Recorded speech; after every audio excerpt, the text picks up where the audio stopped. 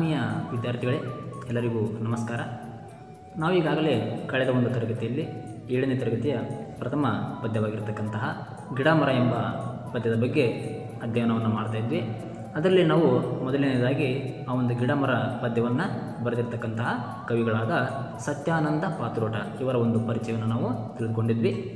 ಪ್ರಸ್ತುತ ಇಂದಿನ ಒಂದು ತರಗತಿಯಲ್ಲಿ ಈ ಒಂದು ಗಿಡಮರ ಪದ್ಯದ ಸಾರಾಂಶವನ್ನು ತಿಳಿದುಕೊಳ್ಳೋಣ. ನಿಮಗೆಲ್ಲ ಗೊತ್ತಿರೋ ಹಾಗೆ ನಮ್ಮ ಒಂದು ಸುತ್ತಮುತ್ತಲೇ ಇರತಕ್ಕಂಥ ಒಂದು ಪರಿಸರದಲ್ಲಿ ನಾನಾ ರೀತಿಯ ಹಲವಾರು ಗಿಡ, ಮರ, ಬಳ್ಳಿಗಳು ಇದ್ದಾವೆ. ಹಾಗೆಯೇ ಆ ಒಂದು ಗಿಡ, ಮರಗಳಿಂದ ನಮಗೆ ಹಣ್ಣು, ಕಾಯಿ, ಎಲೆ, ಅಷ್ಟಲ್ಲದೆ ತಂಪಾದ ಗಾಳಿ, ಹಾಗೆ ದಾರಿ ಹೋಕರಿಗೆ ನೆರಳು ಸಹಿತ ಈ ಒಂದು ಗಿಡ, ಮರಗಳಿಂದ ನಮಗೆ ಸಿಗುತ್ತೆ. ಅಷ್ಟೇ ಅಲ್ಲದೆ ಈ ಒಂದು ಗಿಡ, ಮರಗಳು ಹಲವಾರು ಪ್ರಾಣಿ ಪಕ್ಷಿಗಳಿಗೆ ಆಶ್ರಯವನ್ನು ಸಹಿತ ನೀಡ್ತಾ ಇದ್ದಾವೆ. ಹೇಗೆ ನಮ್ಮ ಒಂದು ಪ್ರಕೃತಿಯಲ್ಲಿ ವಿವಿಧ ಬಗೆಯ ಗಿಡಗಳಿದ್ದಾವೆ, ಹಾಗೆ ನಮ್ಮ ಒಂದು ಸಮಾಜದಲ್ಲಿ, ನಮ್ಮ ಒಂದು ದೇಶದಲ್ಲಿ ವಿವಿಧ ಜಾತಿಯ, ವಿವಿಧ ಧರ್ಮದ ಜನರು ವಾಸವನ್ನು ಮಾಡ್ತಾ ಇದ್ದಾರೆ. ಎಲ್ಲ ರೀತಿಯ ಜನರು ನಮ್ಮ ದೇಶದಲ್ಲಿ ಇದ್ದಾರೆ. ಹಾಗಾಗಿ ನಮ್ಮ ಒಂದು ದೇಶವನ್ನು ವೈವಿಧ್ಯತೆಯಲ್ಲಿ ಏಕತೆಯನ್ನು ಹೊಂದಿರತಕ್ಕಂತಹ ದೇಶ ಅಂತೇಳಿ ನಾವು ಕರಿತೇವೆ. ಆದರೆ ಈ ಒಂದು ಗಿಡಮರಗಳು ಎಷ್ಟೇ ವಿಧವಾದ ಗಿಡಮರಗಳಿದ್ದರೂ ಸಹ ಈ ಗಿಡ ಮರಗಳು ಯಾವುದಕ್ಕೂ ಸಹಿತ ಇವುಗಳು ಜಗಳವನ್ನು ಮಾಡುವುದಿಲ್ಲ. ಅನ್ಯೋನ್ಯವಾಗಿ ಇವು ಬೇರೆಯವರಿಗೆ ಪರೋಪಕಾರವನ್ನು ಮಾಡ್ತವೆ. ಆದರೆ ಮನುಷ್ಯರಾಗಿರ್ತಕ್ಕಂತಹ ನಾವುಗಳು ಜಾತಿ, ಮತ, ಪಂಥ, ಧರ್ಮ ಅಂತ ಹೇಳಿ ನಮ್ಮ ನಮ್ಮಲ್ಲಿಯೇ ನಾವು ಜಗಳವನ್ನು ಮಾಡ್ತೇವೆ.